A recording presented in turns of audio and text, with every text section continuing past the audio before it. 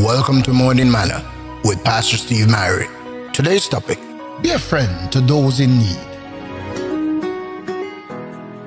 Be kind to each other. Ephesians 4 32.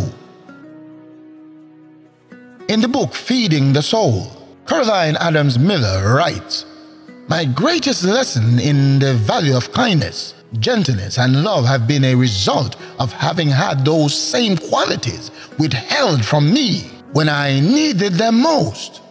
Although some people were supportive, others drew feelings of superiority from treating me like a beggar and not even extending common courtesies, like returning a phone call or being polite.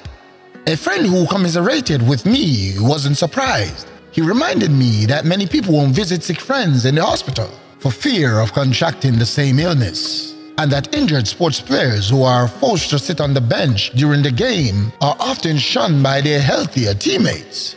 How sad. Don't wait until you are the victim of somebody else's cruelty before you learn to be a friend to those in need. Extend yourself to that one who needs love and support today. Jesus said, Do to others at all times as you would have them do to you. Luke 6:31. Listen to these two scriptures. One, love, the kind God gives, is very patient and kind, never jealous or envious. 1 Corinthians 13 4.